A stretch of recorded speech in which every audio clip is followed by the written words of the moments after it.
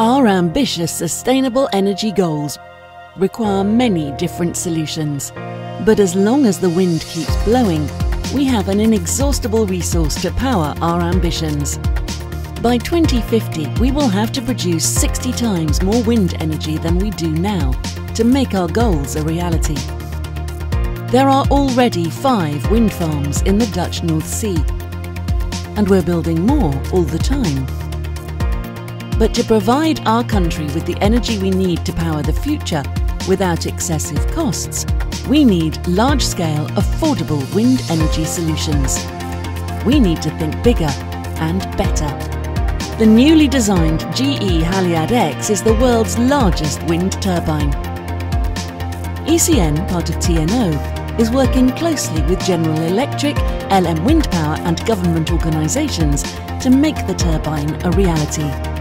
The wind turbine is 260 metres high, with blades 107 metres long and a diameter of 220 metres. This giant turbine can supply electricity to 16,000 households per year at a lower cost than traditional turbines.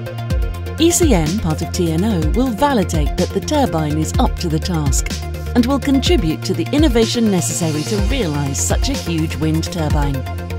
GE Haliade X will be installed in Rotterdam in 2019, but this Energy Goliath is only the beginning.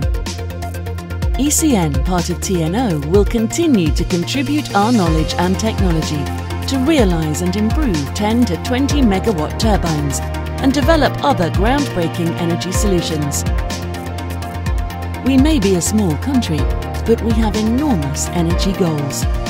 By working together on applicable, affordable solutions, we can ensure a bright future with sustainable energy for all.